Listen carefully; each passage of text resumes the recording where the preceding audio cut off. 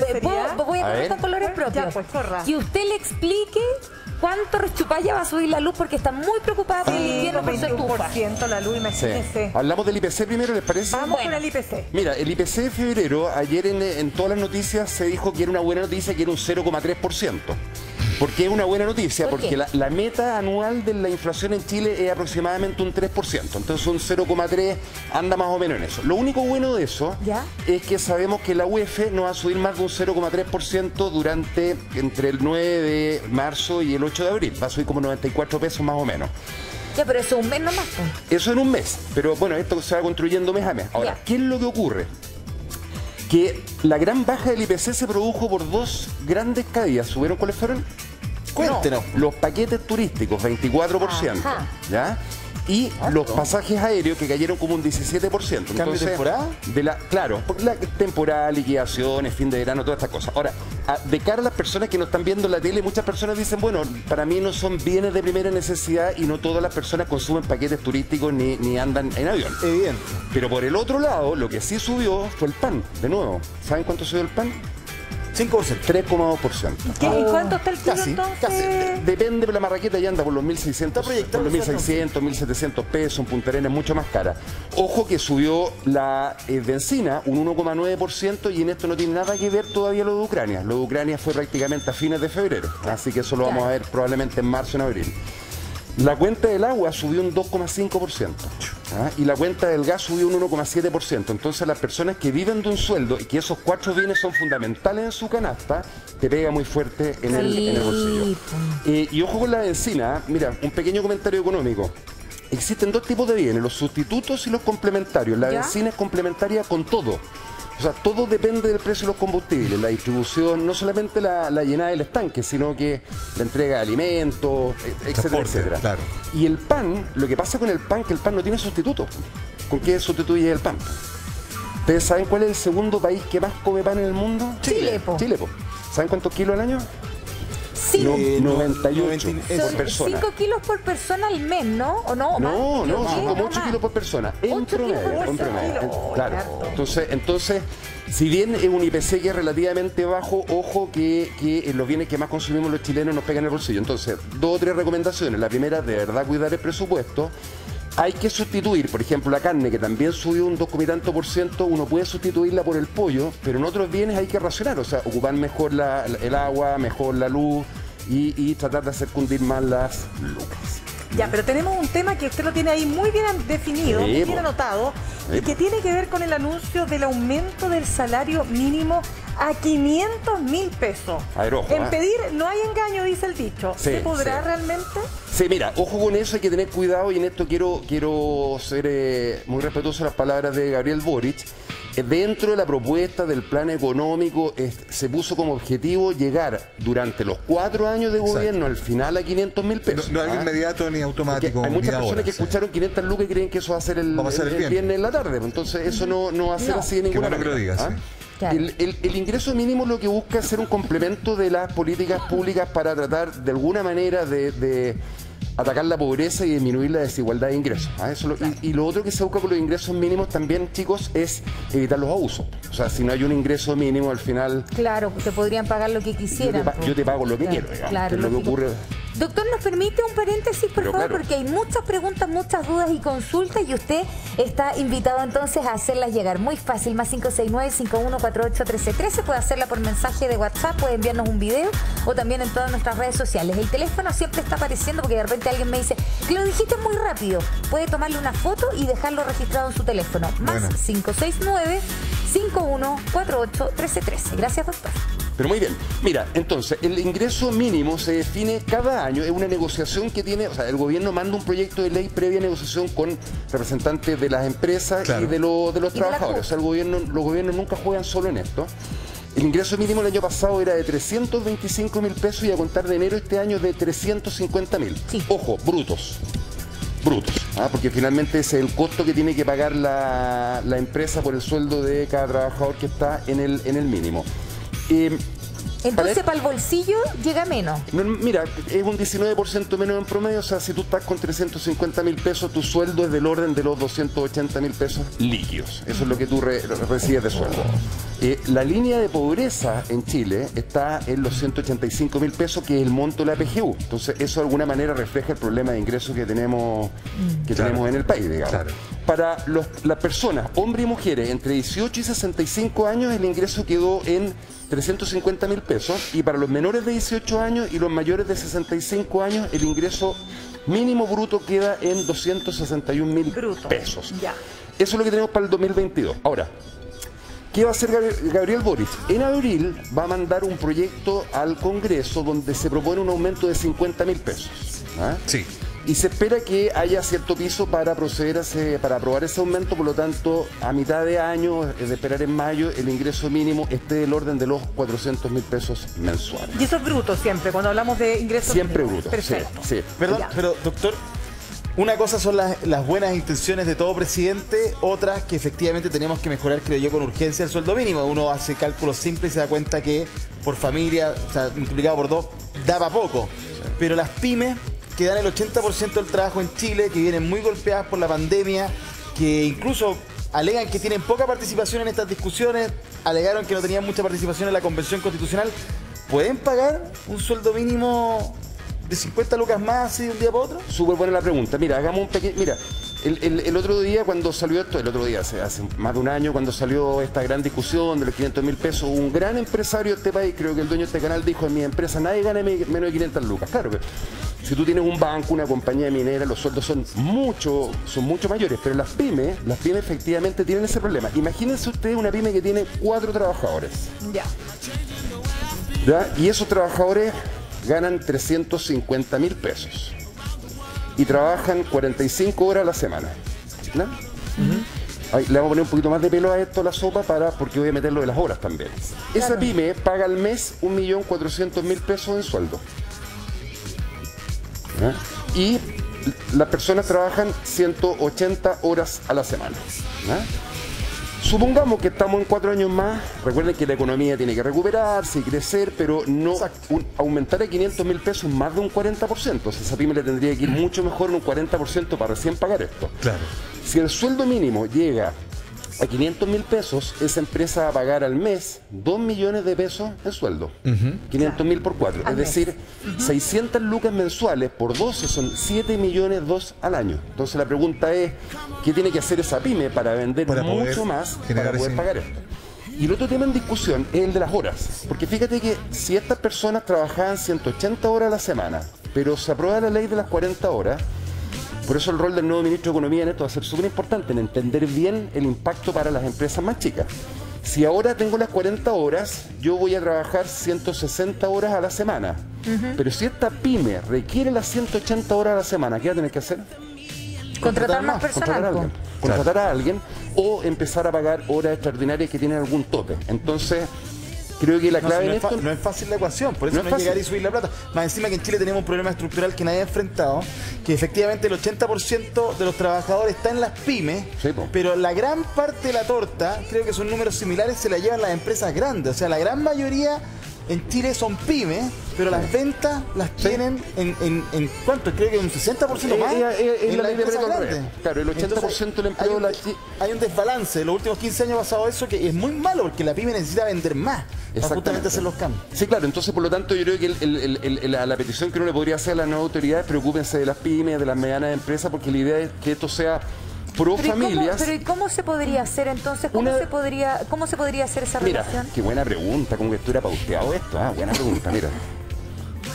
Existe algo bien importante que no se le tienen que olvidar a las personas que no están viendo en la casa, presten alta atención a esto, que es el ingreso mínimo garantizado. ¿Se acuerdan que lo sacó Piñera tiempo atrás? Lo que pasa es que con el ingreso eh, mínimo de 350 mil pesos, tú estás ganando 280 mil pesos líquidos. Sí. ¿ya? Y cuando era 325 hasta el año pasado ganaba y un poquitito menos. Entonces lo que dijo Piñera con el ingreso mínimo garantizado, si el señor director puede avanzar con, ¿Con las la imágenes, siguiente por lámina? favor. ¿En la siguiente gráfica? lámina. Ahí está. ¿ya? Lo que se busca con esto es que nadie en Chile gane menos de 319.600 pesos. Líquido. Líquidos. Líquidos. ¿ya? Entonces, si una persona, por ejemplo, hoy día tiene un sueldo bruto de 337, ¿ya? Eh, ahora, o de 362, coloquémoslo acá, de 362 está recibiendo 270 mil pesos líquidos. Entonces lo que hace este mecanismo es entregarle un subsidio de 35 mil pesos para que quede ganando 325 mil pesos. Eso va a estar vigente hasta el 31 de diciembre del 2023. ¿ah? Entonces nadie va a ganar menos de 320 mil pesos. Eh, Tienes que tener contrato laboral, jornada entre 30 y 45 horas, para sueldos brutos menores a 421 mil pesos. Con, el, con el- la propuesta de aumentar el ingreso mínimo, lo que se busca es generar algún tipo de mecanismo similar al ingreso mínimo garantizado para que las, las pequeñas empresas puedan ajustar sus planillas de sueldo. No sé si me explico. O sea, entregarle un subsidio para apoyarlas Para en, este es. tránsito. Doctor Bolsillo, así como usted lo ha planteado, ¿no es cierto? Eh, van a subir las cuentas de luz, la gente, las personas están muy preocupadas, ¿no es Sí. cierto? 21% porque se acaba el congelamiento, más bien el, sí, pues el, congel- eh, el congelamiento que tenían las tarifas. Pero hay otra, hay otro servicio que es tremendamente básico como es el agua, donde las cuentas también van a subir y Rodrigo Pérez nos tiene más información sobre ese punto. Rodrigo. Sí, pero o- ojo, porque lo que está ocurriendo acá en la comuna de Maipú es bien particular, ¿no? Estamos nosotros en la oficina de MAPA y ustedes lo ven en la fila. Hay personas que están desde las 8 de la mañana. ¿Por qué? Porque sus cuentas del agua han subido en algunos casos hasta 500%. No puede 500%. En el caso de usted, me, me- o sea, me acaba de acercar. ¿Cuánto pagaba 500% normalmente? es 5 veces más. 11.000. Ya, ¿y ahora, ahora cuánto está pagando? 40. Ahora está pagando 40. De un mes a otro le subió a 40. Claro, sí, sí. En el caso tuyo, ¿tú hiciste ya el reclamo? ¿Te dieron alguna respuesta? Ninguna. Ninguna respuesta, nada. Nada, porque la superintendencia fue la que autorizó a SMAPA Ya. a que... Este es el cambio de tarifa, pero no la diferencia de los 500%. Mira, acompáñame por acá, Waldito. Deme un segundito. Porque la verdad es que yo me acerqué, ingresé hasta acá y lo que encontré es que la verdad estaban todos bien molestos porque no tienen ninguna respuesta respecto a qué es lo que está pasando. ¿Cuánto es lo que salió la, cuen- la cuenta usted? 187. Ah, déjate. 187. 187. Hagamos lo siguiente. Denme 180 segundos. Yo converso con usted. ¿Cuál es su nombre? Auristela. Yo converso con Auristela, entendemos por qué le sale 187 mil pesos en la cuenta y qué es lo que está pasando con el resto de los vecinos que lo único que quieren es conversar con nosotros y encontrar la respuesta. Denme esos 180 Por segundos y volvemos acá a la comuna de Maipú. Eh, De todas maneras, Rodrigo Pérez, pero preguntémosle, doctor Bolsillo, a ver, eh, aquí hay, a ver, aquí hay, aquí hay situaciones que son propias también de, la, de lo que está pasando en Maipú, porque Maipú tiene su propia eh, compañía de agua, hablemoslo así, es municipal. Esa es lo que quería decir. Vamos a ir un... Está, está bien complicada la situación acá porque evidentemente eh, han hecho pasar ¿no? rápidamente, aparte de la, de la fila, ustedes están acá, se están manteniendo acá y esperan que nosotros salgamos, ¿no? En el caso de usted, ¿cuánto le están cobrando? A mí me están cobrando 170 mil pesos. ¿Cuánto? 170.000. 179.900, casi 180. Claro, yo tengo una, pers- una persona por estar en cama en la casa y te necesito el agua. Ya, ¿Y por qué alguien me puede explicar En el por febrero, en febrero acumularon mucho más. Ahora salió casi 70 lucas y ahora el mes de marzo salió 38 mil eh, 450. Es mucho la diferencia. No, claro, y eso es lo que no entienden los vecinos. En el caso de usted, a ver, 100. 100 me salió. 100 le salió. Yo pagaba 15. de 15 le saltó a 100. Sí. Mira, una de las posibles explicaciones que ¿Pero qué tenemos, me la explicaba don Fernando, ¿verdad? Ya, don Fernando. ¿Qué es lo que ocurre? Que él se dio cuenta, él se dio cuenta que en su boleta aparecía la última lectura como cero. Es decir, que uno pudiese interpretar de que no le fueran a tomar la cuenta. Sin embargo, ese mes que aparecía en lectura cero, igual le cobraron un promedio de 25 mil pesos. Claro, o sea, es Normal. incluso ese- el monto es mayor que el del mes anterior. Ya, claro. O sea, normalmente O- o usted le cobraban cerca de 20 mil pesos. La última cuenta, ¿cuánto le salió? La penúltima No, la salió, última. la última. La última pagada fue 25.200, que es la que decía Ya. que tenía lectura en Muéstrame la cero. última cuenta. Esta es. Ya. Ah, esta, esta es la Esta de es la ahora. última cuenta. Mira, le vamos a tapar los datos personales a don Fernando, por supuesto. Pero claro, tenemos entonces aquí, mira, pagaba normalmente 20 mil pesos, 22 mil pesos, 25 máximo, 49 mil 700 pesos. ¿Pero cómo? 49 mil 700 pesos. ¿Y qué es lo que ocurre? Que él dice, al medidor dice lectura anterior, aparece cero. Es decir, porque no lo fueron a leer. Y en el caso, deme un segundito porque quiero mostrar el de la señora que estaba acá, que realmente es sorprendente. ¿Usted tiene la cuenta? ¿Ciento cuánto me dijo? 187 mil. 187 mil pesos de, de agua. Sí, y pago siempre 38, 39 mil De pesos. 38, 39 a 100. Mira, pero mira, mira. Es que aquí está impreso. 187.350 pesos. Vamos, vamos a intentar tener algún tipo de, de respuesta. Solo yo quiero decir que quiero que me solucionen esto para yo seguir estando al día en mi cuenta si yo tengo todas mis cuentas pagadas. Claro. ¿Usted ha pagado todos los meses? Todos los meses y yo quiero que me solucionen esto, nada más. Aclaremos eso. No es que usted haya dejado de pagar un mes. No, yo tengo todas mis cuentas. pagadas, están todas las cuentas pagadas, pero igual hay- se- nos encontramos con este tipo de situación. ¿Alguien entró? ¿Alguien le dieron alguna respuesta? ¿Algo, no? Nadie, nadie da, da respuesta aquí. Lo que pasa es que, mire, todos somos gente de adulto mayor. Sí, pues. Y claro, y ¿qué solución nos dan? Na- Nada, absolutamente nada. Mira, un caballero me decía, me decía, nos explican algoritmos, cosas que nosotros no entendemos y al final nos dicen que la cuenta está bien. No, y lo, y lo peor es que le echan la culpa al sistema. ¿Y quienes manejan el sistema son ellos mismos? po. Mira, ojo, porque ya en diciembre, ¿cuál es su nombre? María. María, vamos a intentar preguntar acá adentro si es que alguien nos puede atender y dar alguna respuesta. Sabemos que estamos. Usted me está levantando la mano, disculpe. A ver. A ver si es que tenemos alguna respuesta del interior. Pero ojo, porque en diciembre ya, un diario local, La Voz de Maipú, reportaba cerca de aumentos de hasta 500% en algunas cuentas. Medidores en un sector, en un condominio en particular, 144 medidores que estaban fuera de servicio y que debían ser renovados, que no habían sido renovados. ¿Puede estar ahí la respuesta? Es lo que vamos a preguntar acá adentro. ¿Su nombre cuál es? Rodrigo. Rodrigo, tocayo. Bueno, mira, Cuénteme. aquí todos los meses me suman 3 metros cúbicos. ¿Ya? Todos los qué? meses. ¿De la ducha más larga? No, no, pues sí, ellos El también. mismo consumo. El, con- el- la persona que toma el estado de cuenta Ya. lo toma mal. O sea, se equivoca para, para mí, no para la empresa. O sea, mira, es que eh, sospechamos, sospechamos que por ahí va la. Mire, don Fernando, mire, acompáñeme usted, don Fernando, que usted lo tiene más claro, a ver si que podemos conseguir algún tipo de respuesta. Nosotros llegamos, ¿por qué? Porque los vecinos de Maipú, estando aquí en la fila, se contactaron con nosotros a través de eh, nuestro WhatsApp, evidentemente, y llegamos hasta acá y nos encontramos con esta situación. Rodrigo. No hay un, un guardia aquí en la puerta, alguien a quien le podamos preguntar. Mauricio, te, te escucho mientras yo veo si es que nos puede atender alguien acá. Te escucho, Oye. Rodrigo, claro, eh, eh, eh, qué, qué- qué buena explicada esa, ¿no? Cuando dicen, claro, te cobran en, en sencillo, te lo- pero te lo explican en difícil, ¿no? Eh, respecto a lo que está pasando, ¿cuánta gente sería más o menos la que, la que te cuentan ahí, Rodrigo, que, se estaría viendo afectada por esta situación, que, que a todas luces es muy irregular? No se entiende. Yo, francamente, todavía no entiendo por qué una alza tan expresiva para una señora que vive sola, de pagar 15 lucas, paga 180 ahora, que alguien lo explique. Mira, Mauricio, dame un segundito que justo estoy con la encargada de prensa. Dale. Eh, estoy en el interior de la oficina, mientras Waldo está justamente afuera y estoy intentando ver si es que alguien nos puede atender acá. Eso. Entonces, si, si ustedes me dan unos minutitos, yo puedo damos- conversar fuera de micrófono con ella. Mira, ¿ya? podemos, Ya. podemos también complementar Ya, la- pregunta de Mauricio con, con lo siguiente, porque esto lo hemos escuchado otras veces. Sí. Eh, el hecho de que, de que no nos toman realmente cuánto consumo de agua hubo, entonces se te cobra una suerte promedio, pero en algún minuto si se corrige, porque la empresa tiene que cobrar por lo que efectivamente faltó, el tema es que es de una. Y eso evidentemente te da una sensación durísima en términos de que, de no está la explicación clara.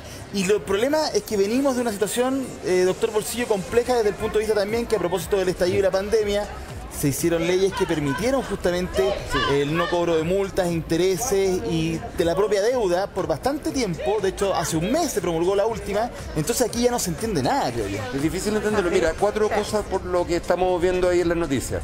Lo primero que es impresentable que tengamos un grupo de personas mayores con la temperatura que hace en Santiago haciendo fila en aglomeraciones. O sea, la verdad que eso de, de entrada es poco presentable. Lo segundo, me recuerdo, pese a que no, no creo que sea la explicación, hace algunos años atrás salió este proyecto de tener los medidores digitales. ¿Se Me acuerdan de acuerdo. Sacabá? Toda esta cuestión. No, pero fue un gran escándalo. Los Chile- medidores inteligentes. Los medidores Inteligente. inteligentes que, la verdad que gran mucho. Ahora, eh, tomando en línea lo que dice Francesco, cuando salió esta ley para regularizar las cuentas morosas por la pandemia, lo que decía esta ley, si ustedes se acuerdan más o menos, es que tú ibas a pagar tu deuda en 48 cuotas mensuales, Sí. pero la cuota no adicional no podía sobrepasar el 13% de tu consumo promedio. Entonces, Sí. por lo que nos dice Rodrigo, la señora Marcela, ninguna de esas personas de esa cuenta corresponde, ¿no es Claro, cierto?, a claro. que te estén cobrando la morosidad. Además, se ve que ellos pagan al día. Y lo que yo comentaba antes los comerciales es que el agua subió un 2,5% en todo Chile en promedio según el IPC. Entonces no hay ninguna explicación. Yo invito al gerente de la empresa que salga de la cara y nos cuente qué está pasando. O sea, doctor, yo estoy muy de acuerdo contigo. Si las explicaciones pueden estar, puede ser un poco lo que quizás plantea Francesco o alguna otra situación en particular, pero una vez más, ¿no? Si, si hablamos de un país que cambia, si hablamos de un país que ha acogido de buena manera conceptos como cercanía, empatía, dignidad, bueno, siéntese, conversar con estas personas, gente mayor. Uno bien sabe, la gente mayor en Chile, sobre todo la gente que tiene como ingresos bien acotados, lo primero que hacen, Chile es un buen pagador, Chile, Chile gana poco, el chileno gana poco, la chilena gana poco, pero se preocupa de pagar sus cuentas. No, no es gente que, que irracionalmente diga, sabes que yo voy a ir a expensas de lo que, de lo que sea. Vemos una señora, me puedo, puedo empatizar con esa señora que está en la fila y dice como, yo tengo mi platita, es poca, pero me hago cargo y voy a pagar mis cuentas religiosamente, sagradamente. Gente vieja escuela, más que tiene como esa idea de que hay que estar al día con lo que tienes que, eh, con tus responsabilidades, ¿no? Entonces, a esa gente mínimo que aparezca hay que darle una explicación, ¿no, Rodrigo? Ya, sí, es que eso justamente estamos intentando. Ingresamos con don Fernando, el resto de los vecinos están aquí esperando a ver si tenemos alguna solución. Hacia adentro tenemos la encargada de prensa que nos dijo, mira, podemos gestionar que algún encargado les vaya a explicar a los vecinos, pero tiene que ser fuera de cámara. Hasta ahora la verdad es que no tiene ¿Cuál es el ninguna respuesta. ¿Cuál es el miedo a la cámara? ¿No? No, todavía no entramos, pues si no nos dan el número. Mire, a ustedes le dijeron... No nos dan solución. Se van las cámaras que han votado todo el día. No, pues a ustedes, a ustedes le dijeron que no sabía qué pasaba, ¿no es cierto? Pero ¿cuántos, cuántos meses? la estaba aquí, ¿Cuántos le doy a dar vuelta la cola. Nosotros pensábamos que era el único caso, pero son miles de gente. Ahora, lo, lo, que, lo particular, que no es tan particular, si hay que ser bien sincero aquí en esto. Nosotros llegamos, y esto siempre ocurre, eh, la fila empezó a avanzar bien rápido. Entonces ahora quedan, quedan mucho menos de lo que estaban cuando nosotros llegamos. Eh, y evidentemente los vecinos ingresaron junto con nosotros. Había otro vecino que estaba grabando con su celular que tampoco lo dejaron registrar. Eh, no, él es de la radio Maipú. Ah, perfecto. y no lo es un problema que ellos mismos han denunciado. Sí. votación dice medidor obstruido, casa cerrada. Mi casa jamás está cerrada ni tampoco tiene medidor obstruido. Esto está particular porque tiene que ver justamente Aunque así sea. que- no, es que mira, es que a lo mejor por aquí va la respuesta, porque hay varios que le ha dicho, no, que a lo mejor usted tiene obstruida la visual del medidor. En el caso usted dice, casa cerrada, medidor obstruido. ¿Usted le pasó lo mismo? ¿Y cuánto subió esa cuenta? Y el medidor está, está ahí a la vista por la reja, no, no tiene para qué meter y llamar y tocar el timbre. Claro, lo ven ve unos y ahí lo espejos. Y hacen. dice medidor obstruido. Exactamente. Mire, ¿Me mire. explico? ¿Cómo? Con lo anterior, los meses anteriores y los metros cúbicos actuales. Hacen un promedio. Mucho. O sea, no Hay tiene- mucha diferencia. Es, es raro eso. Eh, dame un segundito, Mirna, dame un segundito. porque quiero escuchar- Mira, lo mismo, medidor obstruido. hablar con jefatura y me dijeron que las personas no se fijaban en la boleta. ¿Ya? En la visita anterior sale cero, o sea que no Ya. pasaron. Mostre- Mostremos eso para que seamos bien claros y que la gente se dé cuenta que lo que estamos hablando está aquí en papel. No sé quién se da cuenta. Ya. Oye, Me que todos quienes nos vean de revisen todos lados las cuentas. Ya, mira.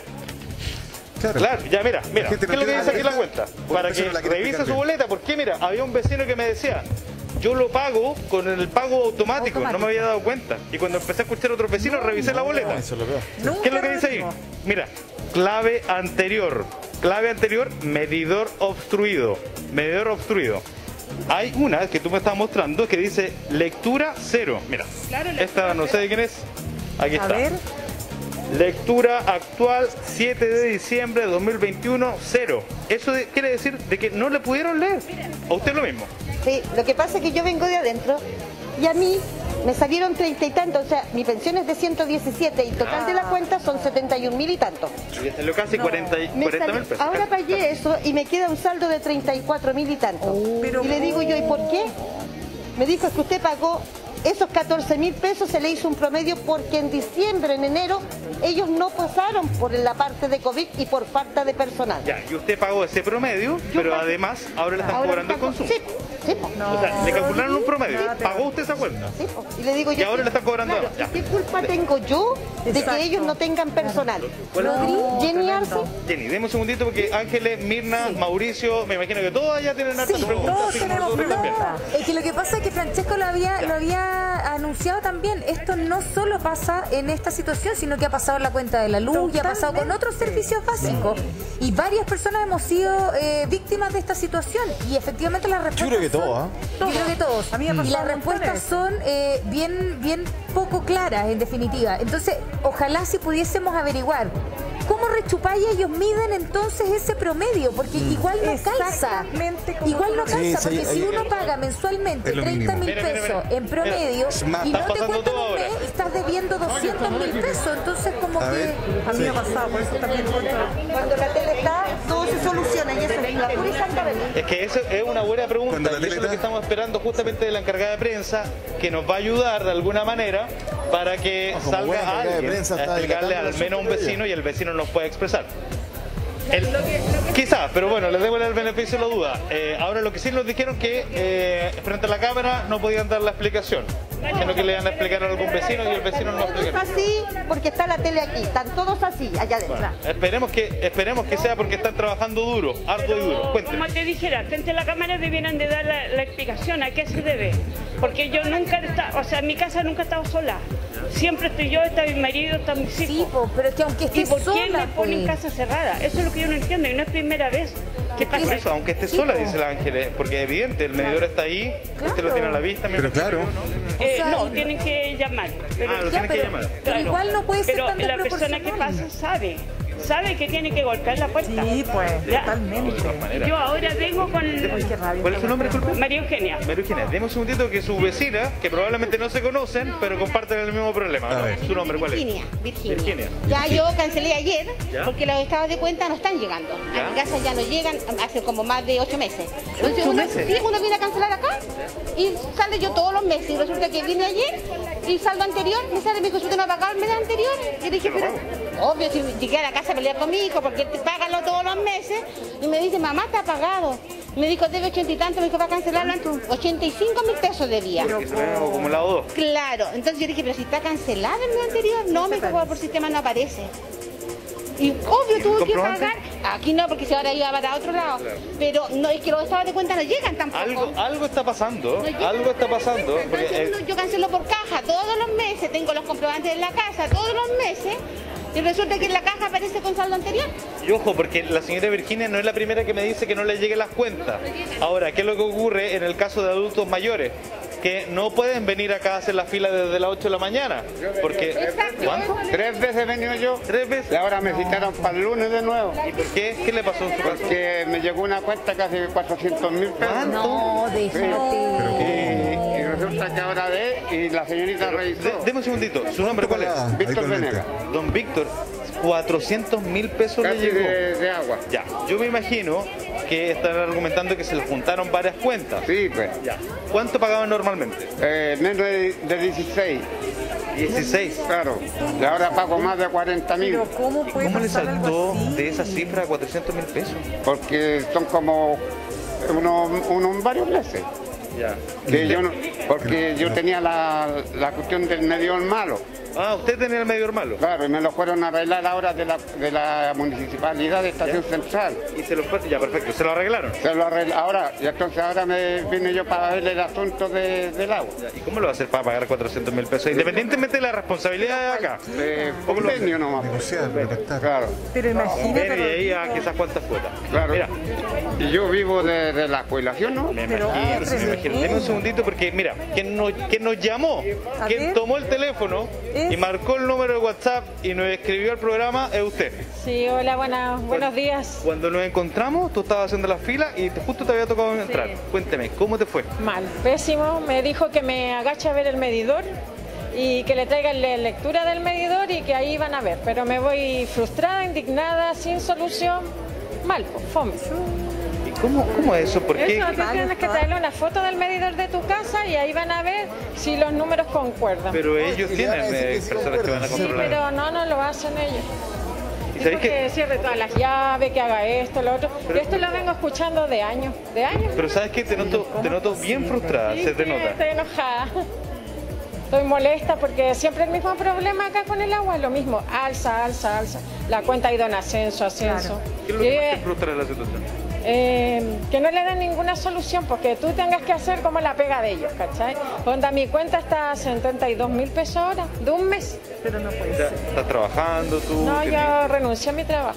Y ahora entonces eso es una molestia, claro. Entonces como te suma un problema más y no soy la única, todos los vecinos. Y no es Tú de tú lo dijiste ahora. súper claro, un problema más Claro. de todo lo que tenemos. Así que me voy súper molesta, enojada, frustrada, eh, porque acá no, no le dan solución a nadie. La Mira. cuenta llega desfasada Vamos. aparte, después de que cuando tú le tienes que pagar. Ya, vamos a hacer lo siguiente. Yo, sí, vamos a hacer lo siguiente. Est- Estos son las, las historias particulares que hay en una fila que ha ido disminuyendo porque van avanzando rápido. Pero vamos a hacer lo siguiente. Yo delante les pedí 180 segundos para entender lo que estaba pasando. Ahora denme 180 segundos para intentar tener alguna, alguna respuesta, al menos con la encargada de comunicaciones, y saber qué es lo que está pasando para usted, que probablemente le haya llegado esta cuenta en Maipú o quizás en otra comuna, puede entender eh, esta boleta y, darse cuenta, ¿no? Eh, ¿Dónde puede estar el error? ¿Dónde, dónde está el problema? Mira, aquí los ánimos se han ido calentando porque hay algunos que opinan que es responsabilidad del- de la administración anterior y de la No actual. tiene nada que ver la- lo anterior, lo anterior lo hacía súper bien la calle. El caballero hablaba justamente de la administración anterior. La administración anterior es la que tiene, tiene la cagá y la sigue La defiendo porque fue una gran persona, con la tercera edad sobre Es, todo. es- es la polarización que existe respecto de un problema que se lo vamos a recapitular para, para usted, si es que no, no, no nos vio antes.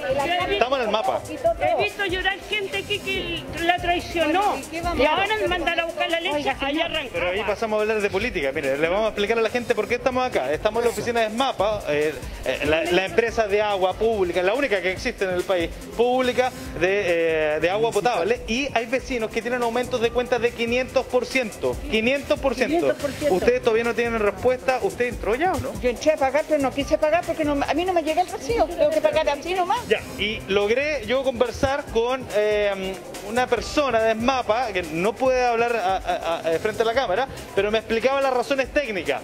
¿Qué es lo que ocurrió? Que, ojo, ella me decía, hay un problema con el personal encargado de hacer las lecturas de los medidores. Tenemos un problema de dotación. No podemos abarcar a todas las casas, entonces dejamos casas lugares completos sin lectura. Y a esas casas se le aplica un promedio. El promedio que se le aplica, por ejemplo, en enero, no se le aplica el consumo que, que consumió, valga la redundancia, en enero del año pasado, sino que de los últimos meses. Ahí arrastra, evidentemente, el consumo de agua en meses en donde no se consume tanta agua.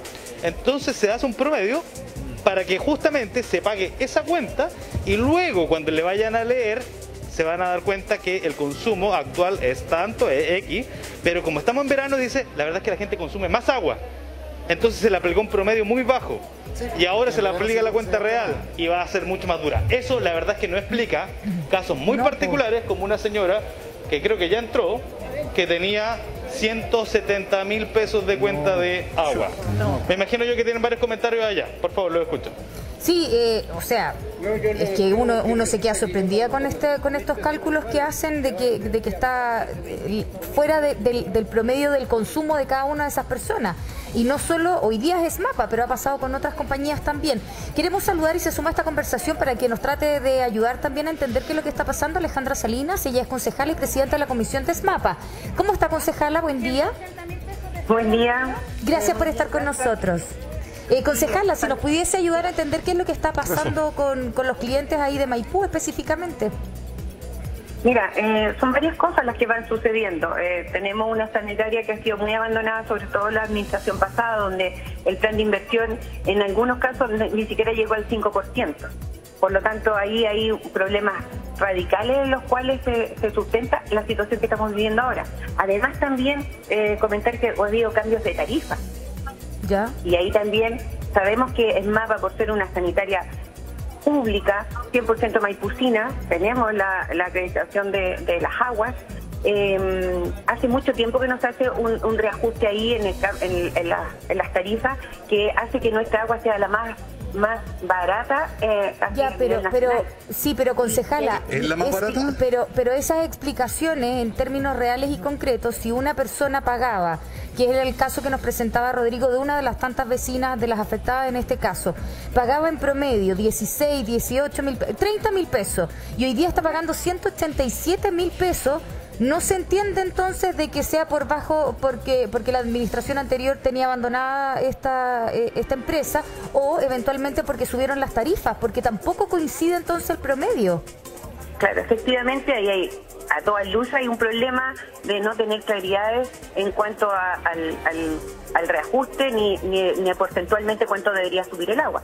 Por lo tanto, es fundamental que la gente haga llegar estos reclamos para mandar personal del mapa que vea la situación, si es un problema del medidor que ya cumplió su vida útil y por lo tanto es lo que estamos haciendo, cambiando medidores, si es una filtración eh, por algún motivo de falla de, o fatiga de material que esté ocurriendo dentro del domicilio, porque eso es lo que se factura, lo que se eh, consume dentro del domicilio, es decir, mandar personal clasificado para determinar cuál es la situación, por qué se está viviendo. O sea, a, a todas luces no puede ser que una persona que, que consumía, eh, pagaba 15 mil pesos, ahora esté pagando sobre 100 mil pesos. No Alejandra, nada que decir. Diga. ¿Qué- lo que quería preguntarle, le saluda Mirna Schindler, usted es concejala, ¿qué rol tiene usted como concejala para entender cuál es el, eh, el nivel de injerencia que tienen ustedes dentro del comité municipal, del consejo municipal, para esta empresa que pertenece a la municipalidad, como usted dice, que es eh, pública, es MAPA?